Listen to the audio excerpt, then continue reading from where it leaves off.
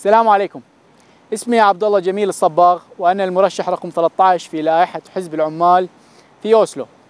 من اهم القضايا اللي أحب أشتغل عليها هي اولا النمو النمو الموجود في أوسلو. أوسلو يزداد عدد سكانها أكثر من 11 ألف نسمة كل سنة.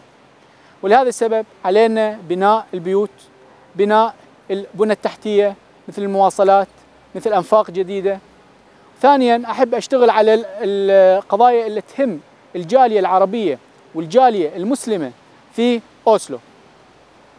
مثل قضية البانبان اللي كثير من الأصدقاء يطرحونها. مثل قضية اللجوء وتوفير الفرص للجميع. أنا عندي أخت محجبة لازم يكون عندها نفس الفرص في العمل وفي الدراسة مثل أي نرويجي ثاني. توفير الحقوق للجميع.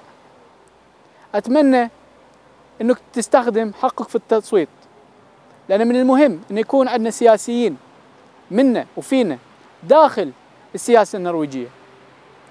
أتمنى لك انتخاب موفق. شكرا.